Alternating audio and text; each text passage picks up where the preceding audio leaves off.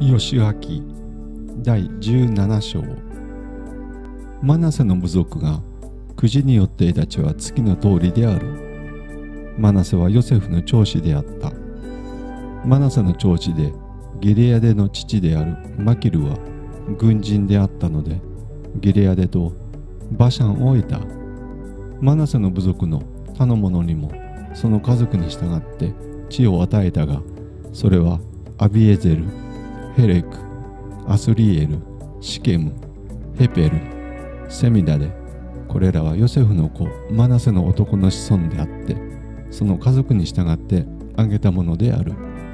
しかしマナセの子マキルその子ギレアデその子ヘペルその子であった。ゼロペハデには女の子だけで男の子がなかった。女の子たちの名はマヘラ。ノアホグラミルカテルザといった。彼女たちは妻子エレアザルヌンの子ヨシュアおよび司たちの前に進み出て私たちの兄弟と同じように私たちにも修行を与えようと主はモーセに命じ置きになりましたと言ったのでヨシアは死の命に従って彼らの父の兄弟たちと同じように彼女たちにも修行を与えた。こうしてマナセはヨルダンの向こう側でギレアデとバシャンの地の他になお10の部分を得た。マナセの娘たちが男の子らと共に修行を得たからである。ギレアデの地はその他のマナセの子孫に分け与えられた。マナセの得た地の境はアセルからシケムの東の三クメタテに及びその境は南に伸びてエンタップアの住民に達する。タップアの地はマナセに属していたがマナセの境にあるタップアの町はエフライムの子孫に属していた。またその境はカナの川に下って川の南に至る。そこの町々はマナセの町々の中にあってエフライムに属した。マナセの境は川の北に沿って進み海に達して尽きる。その川の南の地はエフライムに属し北はマナセに属する。海がその境となる。マナセは北はアセルに接し東はイッサカルに接する。マナセはまたイッサカルとアセルの中にベテシャンとその村々イブレアムとその村々ドルの住民とその村々。エンドルの住民とその村々。ターナクの住民とその村々。メギドの住民とその村々を得た。このうち第三のものは高地である。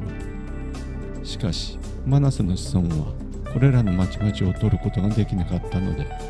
カナン人は長くこの地に住み続けようとした。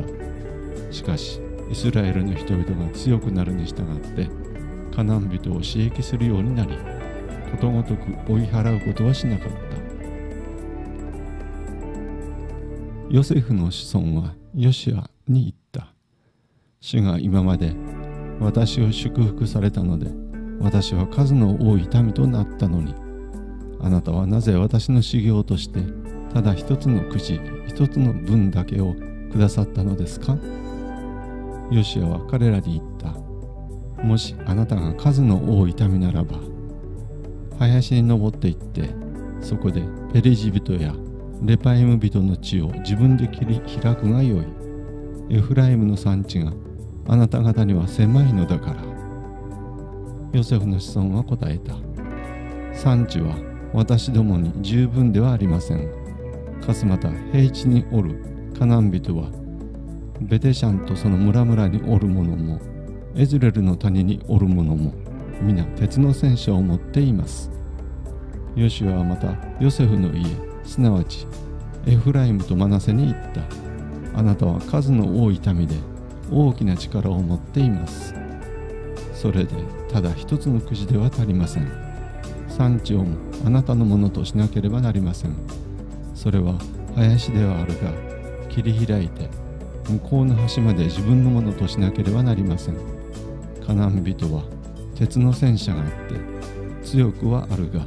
あなたはそれを追い払うことができます。